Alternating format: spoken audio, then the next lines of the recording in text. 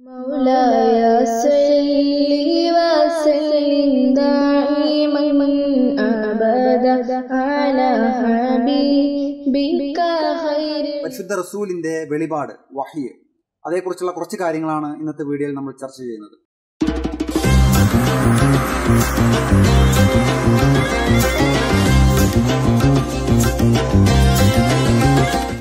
വിശുദ്ധ റസൂലിന് ഏകദേശം നാൽപ്പത് വയസ്സ് ആകുന്ന ഒരു സമയത്ത് ഈ സമയത്താണ് ഈ വഹി അത് സംഭവിക്കുന്നത്. ആ സമയത്ത് ഈ ആൾക്കൂട്ടത്തിൽ നിന്നൊക്കെ മാറി ഈ മക്ക പട്ടണത്തിന്റെ പുറത്ത് ജബലന്നൂർ എന്ന് പറയുന്ന ഒരു മലയുണ്ട്. ഈ ജബലന്നൂർ എന്നുള്ള പേര് ജാഹിലിയ കാലത്ത് അത് ഇല്ല. ഇത് അവിടെ ഖുറാൻ സൂക്തങ്ങൾ ഇറക്കപ്പെട്ട വഹി വന്ന അല്ലെങ്കിൽ നൂർ ഇറക്കപ്പെട്ട വെളിച്ചം വന്നെത്തപ്പെട്ട എന്നുള്ള അർത്ഥത്തിലൊക്കെയാണ് ജബലന്നൂർ എന്നുള്ള പേര് പറയപ്പെടുന്നത്. അവിടെ ഹിറ എന്ന് പറയുന്ന ഒരു ഗുഹയാണ്. അവിടെ പോയി ഇരിക്കാറുണ്ടായിരുന്നു. ഈ ജബലന്നൂർ എന്ന് പറയുന്ന ആ ഒരു മല അത് ഇപ്പോഴത്തെ കാലത്ത് നമ്മൾ കയറി എത്തണമെന്നുണ്ടെങ്കിൽ ഏതാണ്ട് രണ്ട് രണ്ടര മണിക്കൂർ അതിന് നല്ല ആരോഗ്യമുള്ള ഒരാൾക്ക് അത്രയും സമയം അതിനെടുക്കുന്നുണ്ട് ഇപ്പൊ അതിന്റെ ഏതാണ്ട് പകുതിയോളം നമുക്ക് വണ്ടി ഓടിച്ച് തന്നെ പോകാൻ പറ്റും. കാറിൽ ഓടിച്ച് തന്നെ കയറി പോകാൻ പറ്റും. പിന്നെ അവിടുന്ന് അങ്ങോട്ട് കയറി പോകാൻ വേണ്ടി ഏകദേശം ഒരു രണ്ട് രണ്ടര മണിക്കൂറോളം ഒരു ആരോഗ്യമുള്ള ഒരു ആൾക്ക് സംബന്ധിച്ചിടത്തോളം വേണ്ടി വരും. അത്രയും സമയം വേണ്ടി വരും. ഈ ഹിറ ഗുഹ എന്ന് പറയുന്നത് ശരിക്കും വലിയൊരു ഗുഹയൊന്നും അല്ല അത്. അതൊരു ചെറിയൊരു പൊത്ത് ഒരു വിള്ളൽ ഈ പാറയുടെ ഇടുക്ക് എന്നൊക്കെ നമ്മൾ പറയില്ലേ? അതുപോലെയുള്ള ഒരു സ്ഥലമാണ്. ഈ ഒരു സ്ഥലത്തേക്ക് കയറി കഴിഞ്ഞാൽ ഒരു സമയത്ത് ഒരാൾക്ക് അവിടെ ഇരിക്കാനുള്ള ഒരു ഏരിയ അതിനുള്ളൂ. അത്രയും ഒരു ചെറിയ സ്ഥലമാണ്. ഇത് ഉള്ളത് കിബില ഈ കാബാലയത്തിന് നേരെ ആയിട്ടുള്ള ഒരു രീതിയിലാണ് അതിനുള്ളിൽ കയറി കഴിഞ്ഞാൽ നമുക്ക് ഇരിക്കാൻ സാധിക്കുള്ളൂ. അവിടെ നിന്ന് നോക്കിക്കഴിഞ്ഞാൽ ചെറിയ രൂപത്തിൽ ഈ കാബാലയം അന്നും ഇന്നും അതാണ് അതുപോലെ തന്നെ ഈ കാബാലയം അവിടെ നിന്ന് നമുക്ക് ചെറിയ രൂപത്തിൽ അത് കാണാൻ പറ്റുന്നുണ്ടെന്നാണ് പറയുന്നത്. ഇബിന് സാഖിന്റെ റിപ്പോർട്ട് പ്രകാരം ഈ ഹിറ ഗുഹ യഥാർത്ഥത്തിൽ കണ്ടെത്തുന്നത് അത് അബ്ദുൽ മുത്തലിബാണ്. റസൂലിന്റെ പിതാമഹൻ അബ്ദുൽ മുത്തലിബാണ് ഈ ഗുഹ ആദ്യമായിട്ട് കണ്ടെത്തുന്നത്. ഇദ്ദേഹം അബ്ദുൽ മുത്തലിബ് അവിടെ പോയിട്ട് ധ്യാനത്തിൽ ഇരിക്കുകയും കുറെ കാലങ്ങൾ അവിടെ ചെലവഴിക്കുകയും ചെയ്തിട്ടുണ്ട് എന്നാണ് പറയുന്നത്. അങ്ങനെ പിൽക്കാലത്ത് പരിശുദ്ധ റസൂലും ഈ പറഞ്ഞ ഹിറ ഗുഹയിൽ പോയി ദിവസങ്ങളോളം അങ്ങനെ പ്രാർത്ഥനയിൽ അങ്ങനെ മുഴുകി അങ്ങനെ ഇരിക്കാറുണ്ടായിരുന്നു എന്നാണ് പറയുന്നത്. പരിശുദ്ധ റസൂൽ അങ്ങോട്ട് പോകുമ്പോൾ ആവശ്യത്തിനുള്ള വെള്ളവും ഭക്ഷണം ഒക്കെ കൊണ്ടാണ് പോകുന്നത്. അങ്ങനെ പോയി അവിടെ കുറച്ച് ദിവസങ്ങൾ അങ്ങനെ തങ്ങി പ്രാർത്ഥനയിൽ മുഴുകി. ഈ ഭക്ഷണം വെള്ളമൊക്കെ കഴിയുമ്പോൾ തിരിച്ച് ഖദീജ ബീവിയുടെ അടുത്ത് തന്നെ വന്ന് കുറച്ച് ദിവസങ്ങൾക്ക് ശേഷം വീണ്ടും തിരിച്ച് മലയിലേക്ക് തന്നെ പോവുകയാണ് ചെയ്തിരുന്നത്. ഈ യഥാർത്ഥ വഹി അത് സംഭവിക്കുന്നതിന് മുമ്പ് ഈ വെളിപാട് അത് ഉണ്ടാവുന്നതിന് മുമ്പ് വേറെയും ചില സംഭവങ്ങളൊക്കെ ആ, കാലഘട്ടത്തിൽ സംഭവിച്ചതായിട്ട് പറയപ്പെടുന്നുണ്ട്. ഇത് പരിശുദ്ധ റസൂൽ തന്നെ എടുത്ത് പറയുന്നതാണ്. ഈ സമയത്ത് അങ്ങോട്ട് ഈ മലയിലേക്ക് പോകുന്ന സമയത്തൊക്കെ അവിടെയുള്ള പല പാറകളും കല്ലുകളൊക്കെ പരിശുദ്ധ റസൂലിന് സലാം അർപ്പിക്കുന്നതായിട്ട് പറയപ്പെടുന്നുണ്ട്. പരിശുദ്ധ റസൂൽ പറയുന്ന അതിൽ പ്രത്യേകമായിട്ടുള്ള ഒരു പാറ അത് സ്ഥിരമായിക്കൊണ്ട് പരിശുദ്ധ റസൂലിന് സലാം അർപ്പിച്ചിരുന്നു എന്നാണ് പറയുന്നത്. ഇപ്പൊ ഈ സമയത്തും അതായത് മക്കയുള്ള സമയത്തും പരിശുദ്ധ റസൂലിന് കൃത്യമായിക്കൊണ്ട് ആ ഒരു പാറ ഏതാണെന്നുള്ളത് തിരിച്ചറിയാൻ പറ്റുമായിരുന്നു എന്നെടുത്ത് പറയുന്നുണ്ട്. അതുപോലെ തന്നെ ഓരോ രാത്രിയിലും പരിശുദ്ധ റസൂൽ സ്വപ്നങ്ങൾ കാണുമായിരുന്നു. ആ സ്വപ്നങ്ങൾ കാണുന്നത് ആ പിറ്റേ ദിവസം അത് യാഥാർത്ഥ്യമാവുകയും ചെയ്യും. എന്ന് വെച്ചാൽ അടുത്ത ദിവസം എന്താണ് സംഭവിക്കുന്നത് എന്നുള്ളത് തലേ ദിവസം പരിശുദ്ധ റസൂൽ കൃത്യമായിട്ട് അത് സ്വപ്നത്തിൽ കാണുമായിരുന്നു എന്നാണ് പറയുന്നത്. ഓരോ ദിവസം എന്താണ് സംഭവിക്കാൻ പോകുന്നത് എന്നുള്ളത് തലേ ദിവസം രാത്രിയിൽ അത് സ്വപ്നത്തിൽ ദർശിക്കുമായിരുന്നു എന്ന് പറയുന്നുണ്ട്. അങ്ങനെ ഒരു വട്ടം ഈ ഒരു സംഭവം പരിശുദ്ധ റസൂൽ ഖദീജ ബീവിയുടെ അടുത്ത് പറയുന്നുണ്ട്. ഞാനിങ്ങനെ സ്വപ്നങ്ങൾ കാണുന്നുണ്ട്. അത് പിറ്റേ ദിവസം അത് അതുപോലെ തന്നെ സത്യമായി വരുന്നുണ്ട്. എന്താണെന്നറിയില്ല എന്നൊക്കെ പറഞ്ഞിട്ട് ഖദീജ ബീവിയുടെ അടുത്ത് ഈ സംഭവം ഇങ്ങനെ പറഞ്ഞപ്പോൾ ഹദീജ ഖദീജ ബീവി പറഞ്ഞു അത് നല്ല സൂചനകളാണ്. ദൈവത്തിന്റെ അടുത്തു നിന്നുള്ള നല്ല സൂചനയാണ്. എന്തോ നന്മ സംഭവിക്കാൻ പോകുന്നുണ്ട് എന്നൊക്കെ പറഞ്ഞിട്ട് ഖദീജ ബീവി സമാധാനിപ്പിക്കുന്നുണ്ട് പരിശുദ്ധ റസൂലിന്. ഈ ഒരു സംഭവം ഇമാം ബുഖാരിയുടെ റിപ്പോർട്ട് പ്രകാരം ഏതാണ്ട് ആറ് മാസക്കാലത്തോളം അത് അങ്ങനെ ഈ സ്വപ്നങ്ങൾ അത് സംഭവിച്ചുകൊണ്ടേയിരുന്നു എന്നാണ് പറയപ്പെടുന്നത്. അങ്ങനെ ആറ് മാസങ്ങൾക്ക് ശേഷം പരിശുദ്ധ റസൂൽ അങ്ങനെ പ്രാർത്ഥനയിൽ മുഴുകി ഹിറാ ഗുഹയിൽ അങ്ങനെ ഇരിക്കുമ്പോൾ അത്ര തന്നെ ആധികാരികമല്ലാത്ത ഒരു റിപ്പോർട്ട് പ്രകാരം ഒരു ശനിയാഴ്ച ദിവസം ഒരു വലിയൊരു ശബ്ദം കേൾക്കുകയും ഒരു വെളിച്ചം കാണുകയും ചെയ്തു. അങ്ങനെ ചുറ്റും നോക്കി പിന്നെ വേറൊന്നും കാണാൻ കഴിഞ്ഞില്ല.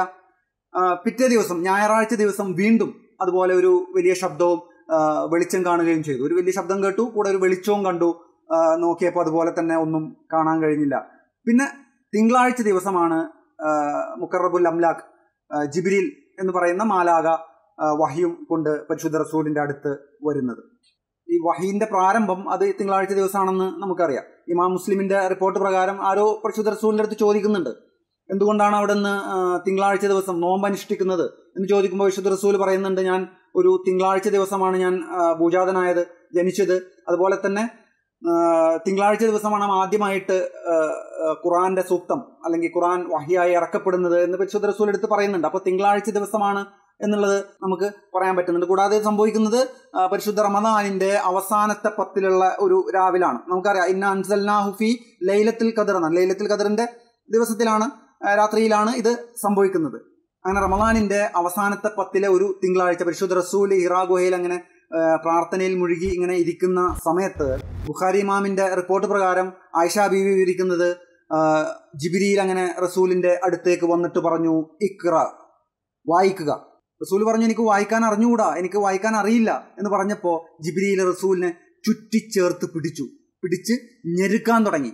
ഞെരുക്കി ശ്വാസം നിന്നു പോവും അറ്റുപോകുമെന്ന് തോന്നുന്ന ഒരു അവസ്ഥയെത്തി ബോധരഹിതനായി പോകും എന്നുള്ള ഒരു അവസ്ഥ എത്തിയപ്പോൾ ജിബിരിയിൽ വിട്ടു. വീണ്ടും പറഞ്ഞു ഇക്ര വായിക്കുക. റസൂൽ പറഞ്ഞു എനിക്കറിയില്ല മാനബിക്കാരി എനിക്ക് വായിക്കാൻ അറിഞ്ഞുകൂടാ എനിക്ക് വായിക്കാൻ അറിയില്ല. എന്ന് പറഞ്ഞപ്പോൾ വീണ്ടും ജിബിരിയിൽ ചുറ്റിച്ചേർത്ത് പിടിച്ചു. വീണ്ടും ഞെരുക്കാൻ തുടങ്ങി രണ്ടാമത്തെ പ്രാവശ്യം. അങ്ങനെ റസൂലിനെ തീരെ സഹിക്കാൻ പറ്റാത്ത ഒരവസ്ഥയായപ്പോൾ ജിബ്രിയിൽ വീണ്ടും വിട്ടു. എന്നിട്ട് വീണ്ടും പറഞ്ഞു ഇക്ര അങ്ങനെ അങ്ങനെ തന്നെ സംഭവിച്ചു. അങ്ങനെ തുടർന്ന് ജിബിരിയിൽ ഇക്ര ബിസ്മി റബ്ബിക്കല്ലദീ ഖലഖ്. ഖലഖൽ ഇൻസാനമിൻ അലക്. തുടർന്ന് മാലം യാലം വരെയുള്ള സൂക്തങ്ങൾ ഓതി കേൾപ്പിക്കുകയാണ്. ഈ ഒരു സംഭവം തുടർന്ന് ആയിഷാ ബീബി പറയുന്നത് പരിശുദ്ധ റസൂൽ അവിടുന്ന് ഇറങ്ങി ഓടി എന്നാണ്.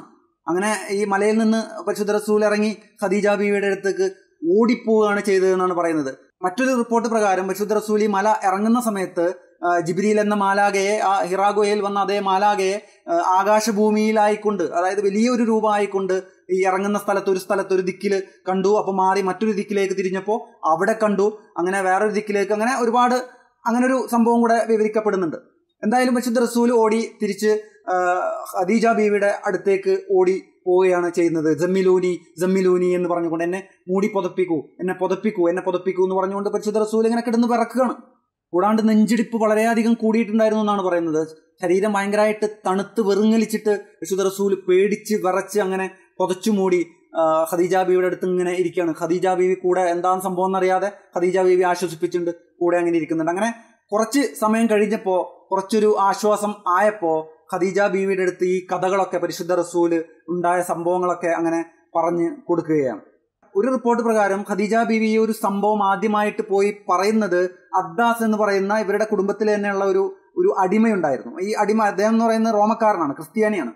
ഈ അദ്ദാസ് എന്ന് പറയുന്ന വ്യക്തി പിന്നീട് ഈ തായിഫിന്റെ ചരിത്ര ഭാഗത്തൊക്കെ വരുന്നുണ്ട്. ഇദ്ദേഹത്തിന്റെ അടുത്ത് പോയിട്ട് ഈ ഖദീജ ബീവി കാര്യങ്ങളൊക്കെ പറഞ്ഞു ഇന്ന എന്നെ പോലെയൊക്കെ സംഭവിച്ചു എന്ന് പറഞ്ഞപ്പോൾ ഈ അദ്ദാസ് ചോദിച്ചു ഇങ്ങനെ ഒരു സ്ഥലത്ത് ഇങ്ങനെ ഈ ബിംബാരാധന സംഭവമൊക്കെ നടക്കുന്ന ഇങ്ങനെ ഒരു സ്ഥലത്ത് അള്ളാഹുവിന്റെ മാലാക വരികയോ? അതങ്ങനെ സംഭവിക്കും അതെങ്ങനെ സംഭവിക്കും എന്നൊക്കെ ചോദിച്ചിട്ട് ഖദീജ ബീവിയുടെ അടുത്ത് തിരിച്ചു ചോദിക്കുകയാണ്. അങ്ങനെ ഖദീജ ബീവിക്ക് മനസ്സിലായി ഇത് ക്രിസ്തു മതം ജൂത ജൂതമതമായിട്ട് ബന്ധപ്പെട്ട എന്തോ സംഭവമാണെന്നൊക്കെ വിചാരിച്ചിട്ട് പിന്നീട് ഈ ഖദീജ ബീവി പരിശുദ്ധ റസൂലിനെയും കൂട്ടിക്കൊണ്ട് പോകുന്നത് വറക്ക ഇബിന് നൌഫൽ എന്ന് പറയുന്ന ഒരു ഖദീജ ബീവിയുടെ തന്നെ ഒരു ബന്ധത്തിൽപ്പെടുന്ന ഒരാളാണ്. ഇദ്ദേഹം മഹാപണ്ഡിതനാണ് ഒരു ക്രിസ്തീയ പുരോഹിതനാണ്. അദ്ദേഹത്തിന്റെ അടുത്തേക്കാണ് പരിശുദ്ധ റസൂലിനെയും കൂട്ടി പിന്നീട് ഖദീജ ബി പോകുന്നത്. ബുഖാരി മാമിന്റെ റിപ്പോർട്ട് പ്രകാരം വർക്കറുടെ അടുത്ത് പോയിട്ട് ഖദീജ ബി കാര്യങ്ങളൊക്കെ പറഞ്ഞു ഇന്ന എന്നെ പോലെ സംഭവിച്ചു ഇങ്ങനെയുള്ള ഒരു അനുഭവങ്ങളൊക്കെ ഉണ്ടായി എന്നൊക്കെ പറഞ്ഞപ്പോ വറക്ക ഇബ്നു നൗഫൽ എന്ന് പറയുന്ന ഈ ഹുനഫാക്കളിൽ പെടുന്ന ഈ മഹാപണ്ഡിതനാണ് ഈ പുരോഹിതനാണ് ആദ്യമായിട്ട് പരിശുദ്ധ റസൂലിനെ ഒരു പ്രവാചകനായിക്കൊണ്ട് തിരിച്ചറിയുന്നത്. അദ്ദേഹം പറഞ്ഞു ആ വന്നിട്ടുള്ളത് ഒരു രഹസ്യ സൂക്ഷിപ്പുകാരനാണ് നാമൂസാണ് പരിശുദ്ധമായ മാലാകയാണ് മുക്കറബുൽ അംലാക്കാണ് ജിബ്രിയിലാണ് ഇതേ മാലാകയാണ് മൂസാ നബി അലൈഹി ഇസ്ലാമിന്റെ അടുത്തേക്കും വന്നിട്ടുള്ളത് എന്നൊക്കെ ആൾ അവിടെ വെച്ച് പറയുകയാണ്. ഈ സമയത്ത് എന്ന് പറഞ്ഞാൽ അദ്ദേഹം പടു വൃദ്ധനാണ് കണ്ണുപോലും കാണില്ല. അത്രയും വൃദ്ധാവസ്ഥയിലുള്ള മര മരണാസന്നനായിട്ടിരിക്കുന്ന ഒരു സമയത്താണ്. അദ്ദേഹം പറഞ്ഞു നിങ്ങളെ നിങ്ങളുടെ ആളുകൾ അവർ പരിഹസിക്കും നിങ്ങളെ പീഡിപ്പിക്കും. മാത്രമല്ല നിങ്ങളെ ഈ നിങ്ങളുടെ നാട്ടിൽ നിന്ന് അവർ പുറത്താക്കുകയും ചെയ്യും. അത് പറഞ്ഞപ്പോൾ റസൂലി ചോദിച്ചു എന്റെ നാട്ടുകാർ എന്റെ ആളുകൾ കുറേശികൾ എന്നെ ഇവിടുന്ന് പുറത്താക്കുക. അതെങ്ങനെ സംഭവിക്കും? എന്ന് ചോദിച്ചപ്പോൾ വറക്കായിബിന് നൌഫിൽ പറഞ്ഞു ഓരോ പ്രവാചകരെയും അവരുടെ ആളുകൾ അങ്ങനെ തന്നെ ചെയ്തിട്ടുണ്ട് നിങ്ങളെ കാര്യത്തിലും. മറിച്ച് ഒന്നും സംഭവിക്കില്ല. നിങ്ങൾക്കും അതേപോലെ തന്നെ സംഭവിക്കും എന്നാണ് പറഞ്ഞത്. ഖദീജ ബീവി പറഞ്ഞതായി പറയുന്നത് അവിടുന്ന് കുറച്ച് സമയം കഴിയുമ്പോഴേക്ക് ഈ വറക്കായ് ഇബ്നു നൗഫൽ എന്ന പണ്ഡിതൻ അദ്ദേഹം വഫാത്തായി എന്നാണ്. ഈ വറക്കായ് ഇബ്നു നൗഫലിനെ കുറിച്ച് ആരോ ചോദിക്കുന്നുണ്ട് പരിശുദ്ധ റസൂലിന്റെ അടുത്ത്. എന്താണ് ഈ വറക്കായ് ഇബ്നു നൗഫൽ എന്ന ആ പണ്ഡിതന്റെ വിധി എന്താണെന്ന് പരിശുദ്ധ റസൂലിന്റെ അടുത്ത് ചോദിച്ചപ്പോൾ റസൂൽ പറയുന്നത് പരിശുദ്ധ റസൂൽ അദ്ദേഹത്തെ കണ്ടു എന്നാണ് പറയുന്നത്. അതായത് വെള്ള വസ്ത്രധാരി ആയിക്കൊണ്ട് ആ, ഈ വറക്കായിബിന് നൗഫൽ ആ, സ്വർഗത്തിൽ ഒരു പൂന്തോട്ടത്തിന്റെ അധികാരി ആയിക്കൊണ്ട് പരിശുദ്ധ റസൂൽ കണ്ടതായിട്ട് ഈ വർക്കായി ഇബിൻ നൌഫലിനെ കുറിച്ച് പറയുന്നുണ്ട്. തുടർന്ന് റസൂൽ പറയുന്നു ഏതാണ്ട് ആറ് മാസത്തേക്ക് പിന്നീട് വഹി ഒന്നും സംഭവിച്ചിട്ടില്ല. ഈ ഇക്ര ഇറങ്ങിയതിന് ശേഷം ഏതാണ്ട് ആറ് മാസക്കാലത്തോളം പിന്നീട് വഹി വന്നിട്ടില്ല ജിബ്രീലിനെ കണ്ടിട്ടില്ല എന്നാണ്. അങ്ങനെ ആറ് മാസങ്ങൾക്ക് ശേഷം ഒരു ദിവസം പരിശുദ്ധ റസൂൽ ഇങ്ങനെ ഇറങ്ങി നടക്കുമ്പോൾ വലിയൊരു ശബ്ദം കേട്ടു. ഈ ശബ്ദം കേട്ടപ്പോൾ റസൂൽ അങ്ങനെ ആകാശത്തേക്ക് നോക്കിയപ്പോൾ കണ്ടു ഒരു സിംഹാസനത്തിൽ ജിബിരിയിൽ അങ്ങനെ ഇരിക്കുന്നു. അതായത് ഹിറാഗുഹയിൽ വെച്ച് കണ്ട അതേ മാലാക അതേ രൂപത്തിൽ ഇങ്ങനെ സിംഹാസനത്തിൽ ഇരിക്കുന്നു. കണ്ടപ്പോൾ വീണ്ടും റസൂലിന് പേടിയായി വിറക്കാൻ തുടങ്ങി നെഞ്ചിടിപ്പ് കൂടാൻ തുടങ്ങി റസൂൽ തിരിഞ്ഞ് നേരെ ഖദീജ ബീവിയുടെ അടുത്തേക്ക് ഓടി ജമ്മിലൂനി ജമ്മിലൂനി എന്ന് പറഞ്ഞിട്ട് എന്നെ പുതപ്പിക്കൂ എന്നെ പുതപ്പിക്കൂ എന്ന് പറഞ്ഞുകൊണ്ട് ഖദീജ അടുത്തേക്ക് തിരിച്ച് ഓടിപ്പോയി. അങ്ങനെ ജിബ്രീൽ അവിടെ വന്നിട്ട് രണ്ടാമത്തെ വഹി സൂറത്തിൽ മുദ്ദസ്റിന്റെ ആദ്യത്തെ ഭാഗം. قم فأنذر وربك فكبر ഇന്നത്തെ വീഡിയോയെക്കുറിച്ചുള്ള അഭിപ്രായങ്ങളും നിർദ്ദേശങ്ങളും താഴെ കമന്റ് ബോക്സിൽ രേഖപ്പെടുത്തുക ഇതുപോലെയുള്ള മറ്റൊരു വീഡിയോയുമായി നമുക്ക് വീണ്ടും കാണാം അതുവരെ എല്ലാവർക്കും എല്ലാവിധത്തിലുള്ള നന്മയും അത് ഉണ്ടാവട്ടെ എന്ന് ആശംസിക്കുന്നു